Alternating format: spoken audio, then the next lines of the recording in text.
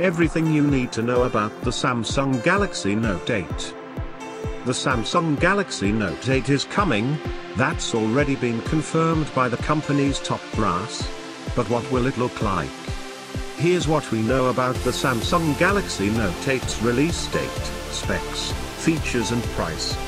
Update, the 22nd of December 2016, Samsung's next flagship, the Galaxy S8, has been tipped for an April launch. That means we could get an early glimpse of what to expect from the Galaxy Note 8 in just 4 months. Stay tuned. Following Samsung's epic Galaxy Note 7 fail, there's no shortage of pressure on the company to get the Galaxy Note 8 right. Everyone can agree that the best outcome for the next phone will be that it doesn't spontaneously combust. And with Samsung expected to release its findings about the Galaxy Note 7 imminently, there's a good chance this will all be resolved. We're also hoping for impressive hardware, software and design too, of course. On the bright side, we're in the unusually fortunate position of knowing that the Galaxy Note 8 will be released in 2017. In a statement about Samsung's Galaxy Note 7 recall issued in October, the company said that both the Galaxy S8 and Galaxy Note 8 would be released next year. So with that in mind, what would we like to see from the Galaxy Note 8? Read on to find out all about the upcoming phablet. 1. No more fires, please. It goes without saying, really. But we're desperately hoping that Samsung's Galaxy Note 8 resolves all of the heat issues that plagued the Note 7. For the unaware, or if you just like a bit of schadenfreude, Samsung was forced to recall the Galaxy Note 7 just one month after it launched.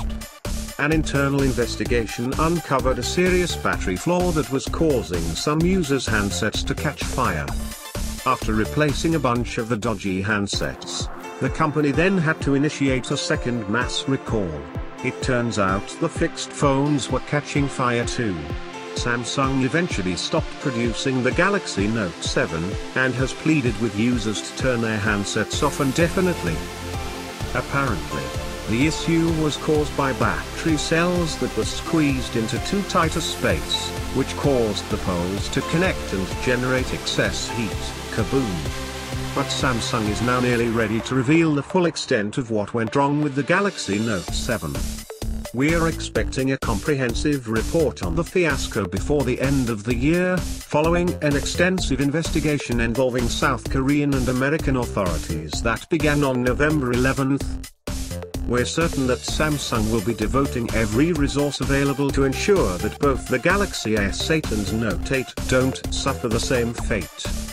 2. Galaxy Note 8 release date should scare Apple.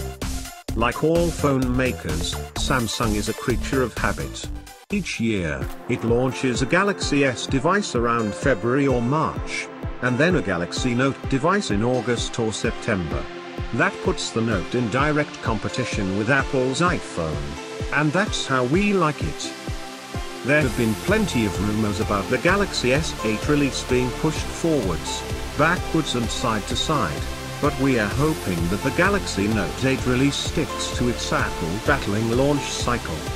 Note phones tend to be a tour de force of hardware, so the Note 8 should be a perfect rival to the iPhone 8 Plus, or whatever Apple's 10th iPhone is called. 3. Powered by Snapdragon 830.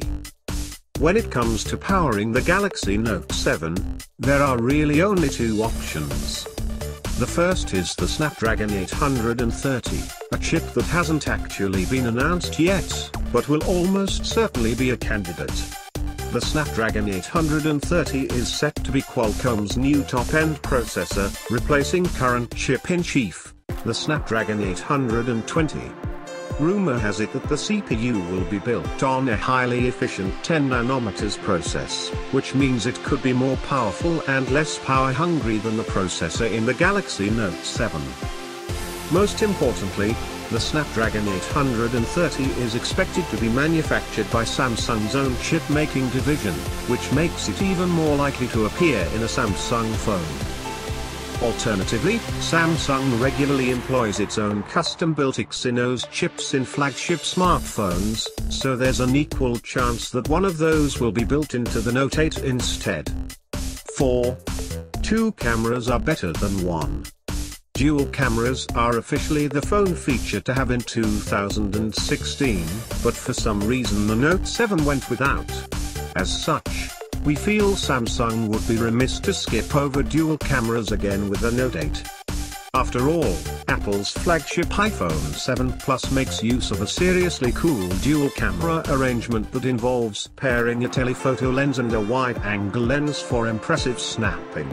And both the Huawei P9 and LG G5 also debuted their own versions of a dual camera arrangement.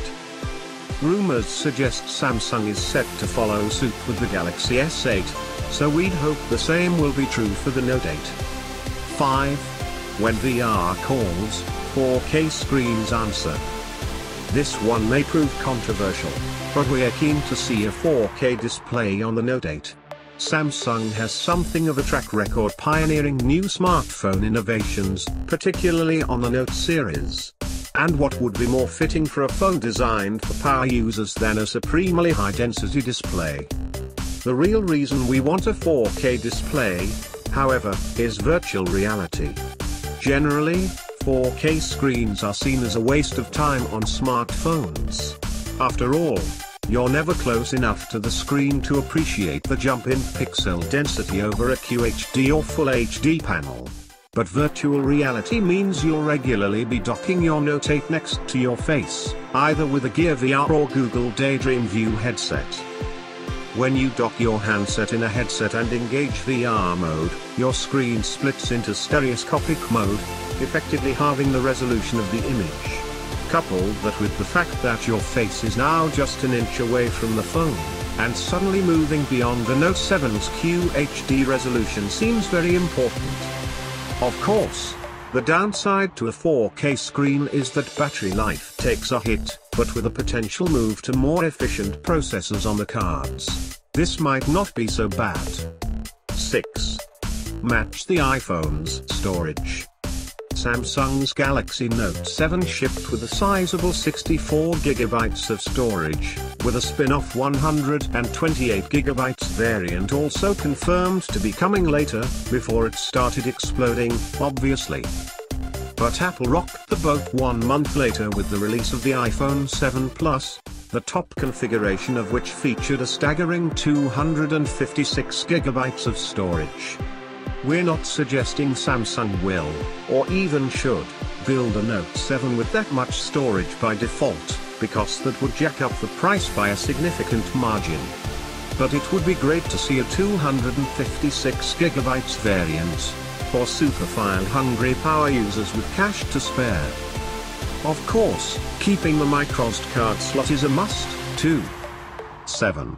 All the fun extras. Really, what we're most keen to see is a continuation of the Note 7. Before Firegate, the Note 7 was wowing phone reviewers across the globe. We gave it a 9 tenths, and that was well deserved.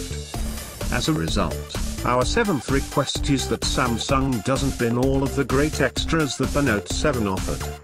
That means we want the Note 8 to be waterproof, feature an iris scanner, and retain the S Pen stylus that has graced so many note screens in iterations gone by. 8. No more price hikes.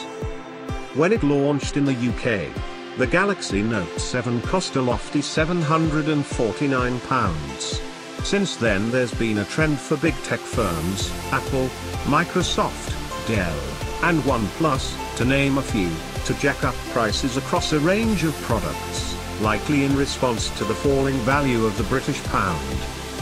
By next year, there's every chance that the value of sterling could be as low, or lower, so we worry that the Note 8 could cost far more than £749.